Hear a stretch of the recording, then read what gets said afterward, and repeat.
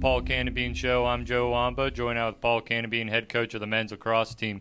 Coach, you guys travel up to Stevens, have a good first half, pretty solid. Struggle a little bit offensively in the second half.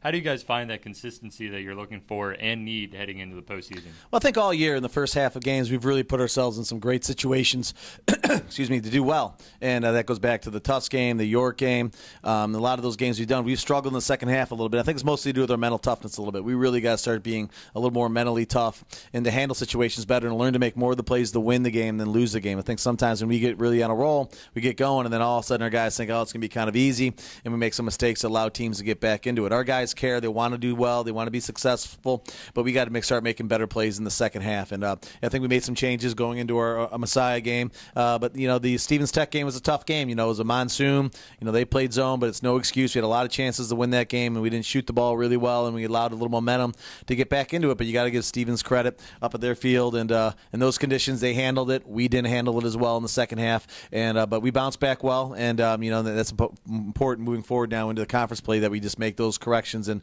uh, learn how to win those games. You mentioned that Messiah game. You guys travel there with number one seed on the line, eight to eight at halftime. You guys come out and are able to put it away. Is that the type of response you're looking to in adversity? Yeah, I think you know. I think we knew we were going to win that game. Actually, this amount of the face-offs. We didn't face off really well in the first half.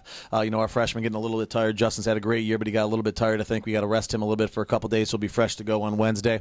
Uh, but we, once we started getting that, we kind of started getting on a roll, especially in the fourth quarter. I thought we made some great strides. We made some lineup changes. We started a, a freshman, uh, Colin Mason, and played another one, Matt Bowman, at attack a little bit. And we started uh, Tyler Furman, uh, which was great. And then I think you know, our changing our first midfield line, bumping Haver up and Watson to the first line really gives us a dynamic midfield and a, and a very good second midfield now with Karassian and Ethan Christensen and Pritchard. So it gives us a, a, little more balance there. And Wade coming off the bench with the first two midfield lines in net attack, playing all over the place, really makes it a little bit difficult for teams to guard. So once we got used to the lineup, I thought we did really well, and and really really looking forward to the conference tournament this week. Is talk about that conference tournament. We don't know who we're playing yet on Wednesday. Yep. It's either going to be Widener or Lebanon Valley. Talk a little bit about both of those teams. Well, they're both really dangerous teams. You know, I think they both got good goalies and both play really stout defense defense, and you know we have to do a good job. You know, Widener's got a good face-off guy as we do, so we got to we play them. We got to control that. If not, you know, we play Lebanon Valley do a great job controlling the pace of the game. So you know, we just got to do what we got to do. I think we just got to play with a little more intensity, a little more desire, a little more uh, uh, wanting to practice each and every day. You know, it's playoff time. You got to want to practice every day, and so.